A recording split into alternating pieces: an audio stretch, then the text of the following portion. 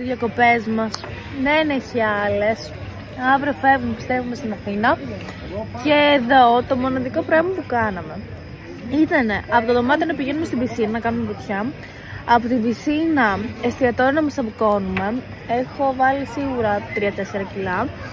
Ε, και μαζί με όλα αυτά κάναμε και αποτοξίνωση, διότι εδώ πέρα δεν έχει σήμα και δεν γνωρίζουν ότι πάει να πει wifi. Δεν έχει ούτε wifi. Αυτά. Και 15 Αύγουστο δεν θα πάμε διακοπές. Δεν ξέρω πού θα περάσω τη γιορτή μου. Ελπίζω όχι στην Αθήνα και όχι στη Θεσσαλονίκη. Τώρα εγώ άνοιξα το story για να γκρινιάξω. Εσείς πώς θα περνάτε;